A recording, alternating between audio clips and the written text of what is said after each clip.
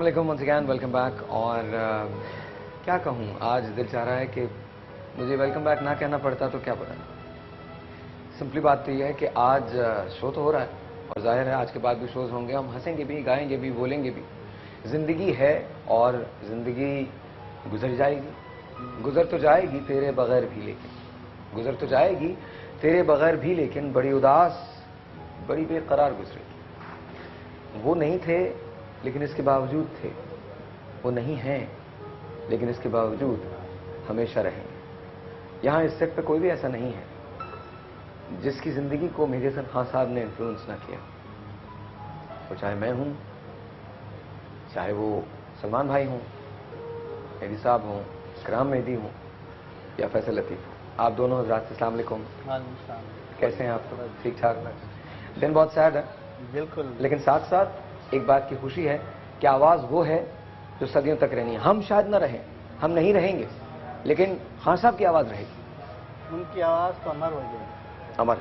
बिल्कुल अमर है और मैं समझता हूँ कि वो जब तक उनके सुनने चाहने वाले हैं वो भी वो भी ज़िंदा हैं। वो भी उनके साथ ज़िंदा हैं। इकराम हम आपसे शुरू करते हैं। सब लोग ये कहते हैं और बहुत मुस्तनद कहते हैं बहुत उसूब के साथ कहते हैं कि आपकी आवाज़ में बहुत मेहंदी हसन है। मैं मैं ये कह रहा था अभी शायर से और मैं ऑन एयर कहना चाहता हूँ इस बात को। मेहदी साहब को बहुत लोगों ने गाया और सभी गाते हैं हम सब गाते हैं।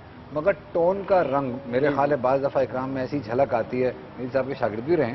सही। मैं इकराम में ऐसी झलक आती है बाज़ दफ़ा कि जरा सा गुमान होता है कि एक टोन बिल्कुल मेहदी साहब वाला वो जवानी वाला मेहदी साहब का टोन जो है वो कहीं कहीं नज़र आता है। ये अल्लाह की अल्लाह की। देन। जी, जी, अल्लाह ये ये कोई बना नहीं सकता ये अल्लाह की देन।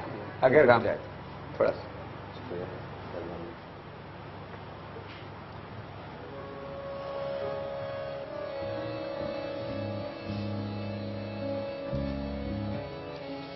आपके सबकी इजाज़त सर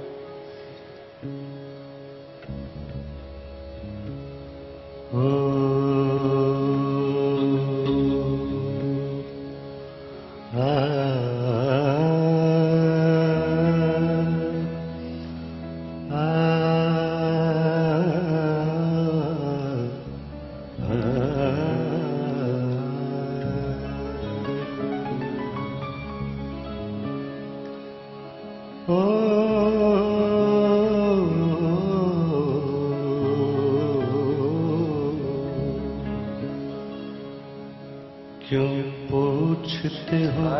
क्या तुमसे कहूँ मैं किस लिए जीता हूँ? शायद कि कभी मिल जाओ कहीं मैं इसलिए जीता हूँ। क्यों पूछते हो? क्या तुमसे कहूँ मैं किस लिए जीता हूँ? कभी मिल जाओ कहीं मैं इसलिए जीता हूँ।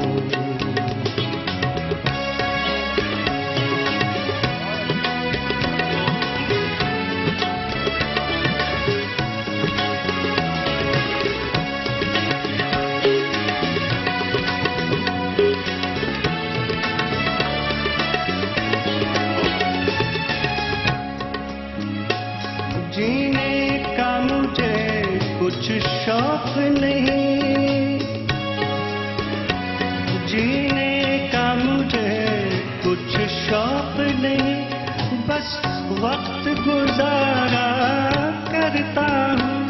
कुछ देर उलझ कर यादों में दुनिया से किनारा करता हूँ।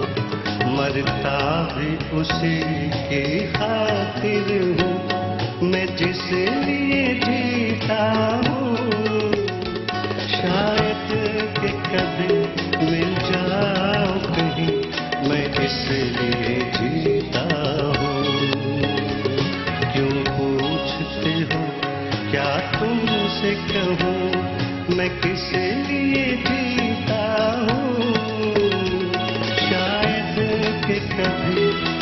जाओ कहीं मैं इसलिए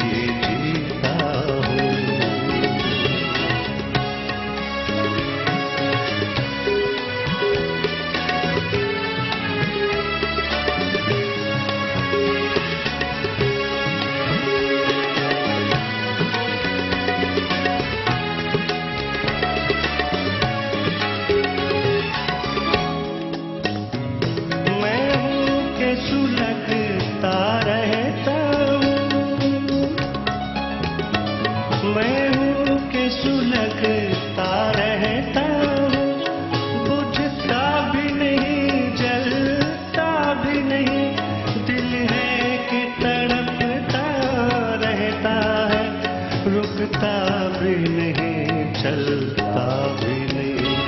जीने की तमन्ना मिट भी चुकी फिर किस लिए जीता हूँ?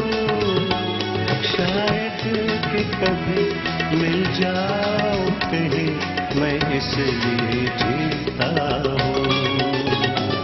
क्यों पूछते हो, क्या तुमसे कहूँ?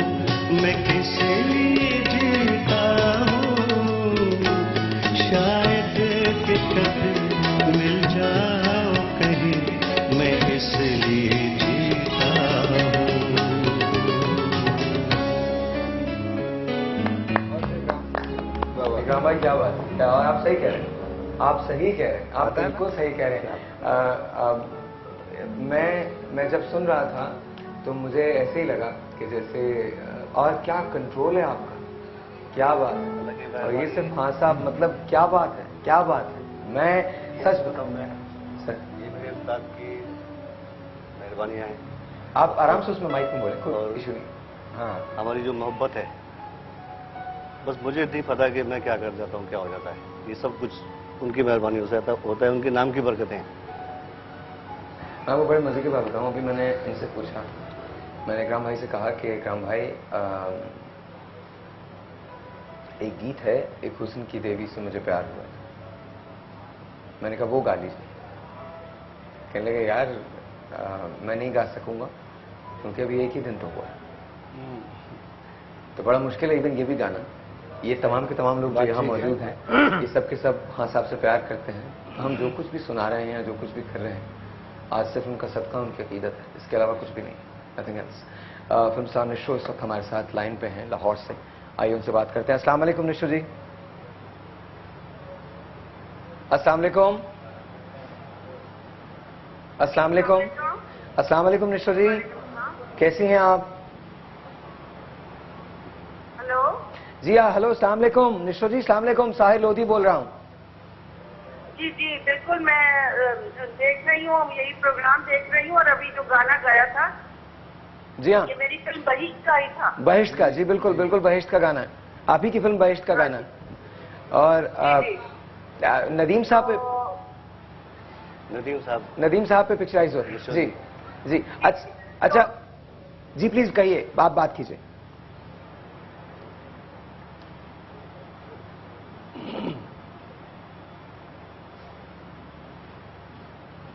साहब जी हाँ जी जी बिल्कुल।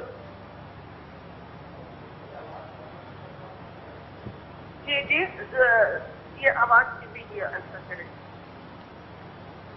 जी जी, मैं ये कह रही थी कि मेहदी हसन साहब ही वॉज़ अ ग्रेट सिंगर और development was as a human being एक डाउन टू अर्थ पर्सन जो वाकई एक आर्टिस्ट आदमी की टेम्परमेंट का एक खास क्वालिटी होती है कि उसमें गुरूर तकबर या उसमें वो बदमिजाज नहीं होता, जिसका एक डॉक्टर को पोलाइट होना चाहिए।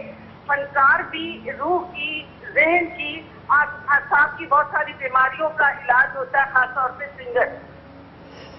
तो मेहदी हसन साहब ऐसा एसेट है हमारा, जो हम खो चुके हैं और कुछ ऐसे, ऐसा नुकसान हुआ है हमारा जिसकी तलाशी नहीं। एक नाकाबले तलाशी नुकसान है। हमारी यादों में फताहों के दिलों में लोगों के कानों में मौसीकी की दुनिया में वो शख्स कभी भी मर नहीं सकता हमेशा ज़िंदा रहेगा। बेशक हमारे हमसाया मुल्क के आर्टिस्टों ने भी उन्हें बहुत अप्रिशिएट किया है और अपने रिलीजन के हिसाब से उन्होंने कहा है कि मेहदी हसन के गले में भगवान बोलता है। और किसी को शहनशाह गज़ल और किसी शहनशाह का खिताब तभी दिया, जा, दिया जाता है जब उसमें वो क्वालिटीज होती है वो औसाफ होते हैं। कोई बादशाह ऐसे नहीं बनता तो प्रोमिनेंट ऐसे नहीं होता। अल्लाह ताला ने उन्हें जो मकाम दिया खुदा का अदा करता था। और अपने मजाहों में अपने चाहने वालों में मौसीकी की दुनिया में ऐसी वीरानी फैला गया हैं। उनके बारे में कहूँगी जितने पुराने मैकश है सब उठते जाते हैं। जितने पुरानी मैकश है सब उठते जाते हैं, कहीं से आबे बकाए दवाम ला साथी। काश मेहदी हसन जैसा इनको जैसा कोई और सिंगर हो। न्यू कमर्स के लिए एक आइकॉनिक पर्सनैलिटी है। हम उनको खो चुके हैं। हमारी यादों में रहेंगे। खुदा उन्हें जन्नत नसीब करे। थैंक यू बहुत बहुत शुक्रिया। बहुत बहुत शुक्रिया। आपने कहा आई एग्री 100 परसेंट आपने जो कुछ भी कहा है आइकॉनिक है वो। रही बकाया दवाम की बात, जिसम है कि चला गया। आवाज़ है कि बाकी है। आई थिंक आने वाले 2000 साल या पचास हज़ार साल मेहदी हसन को हमसे और वक्त से नहीं छीन सकते। क्योंकि मेहदी हसन एक आवाज़ का नाम नहीं है। मेहदी हसन। मेहदी हसन। मेहदी हसन हमारे सरपरस्त है। एक इंस्टीट्यूशन है। हम्म। एक इंस्टीट्यूशन है। हम सबके लिए गाइडेंस है। जब तक उनका काम और इंशाल्लाह उनका काम बहुत सालों तक ज़िंदा रहेगा। और फैसल आपकी भी मुलाकात है मेरी भी मुलाकात रही है। नफीस शख्सियत बड़े हम्बल से ये नहीं पता चलता था कि इतना बड़ा बादशाह आपसे बात कर रहा है। मैंने वो कार्ड फ्रेम करके रखा हुआ है। मेरी मैं नया नया जब गाना शुरू किया था उस वक्त वो कार्ड में लिखा है कि और नए उभरते हुए गज़ल गुलूकार सलमान अलवी शुरू करेंगे। तो मुझे कहा गया था कि मेरी साहब होंगे नहीं तब आप गाएँगे मतलब मैंने कहा था वो होंगे नहीं तो मैं गाऊँगा शुरू किया मैंने और मुझे नहीं मालूम कि वो स्टेज के बराबर पीछे उनको बैठे हुए थे। हम्म, अगर उन्हें पता होता तो शायद मुझसे गाया नहीं गया वो उठ के आए दो गजलें मैंने गाई थी। आके मुझे गले लगाया सिर्फ़ इतना कहा सीखो। मगर अच्छा गाया तुमने और सीखो। मेरे लिए तो बस वो बहुत था। क्या क्या एक छोटा सा ब्रेक है। आपसे मिलते हैं ब्रेक के बाद। जाना कहीं नहीं यहीं रहिएगा। अभी फैसल हैं कुछ और मेहमान हैं। आपकी कॉल्स हैं। अगर आप कॉल करना चाहते हैं खान साहब के बारे में कुछ कहना चाहते हैं तो प्लीज़ कहिए। अगर मैसेज करना चाहते हैं और सिर्फ़ ये कहना चाहते हैं कि खान साहब अपना मैसेज लिखिए इसके बाद स्पेस दीजिए। अपना नाम लिखिए and send it to four three six आपसे मिलते हैं ब्रेक के बाद।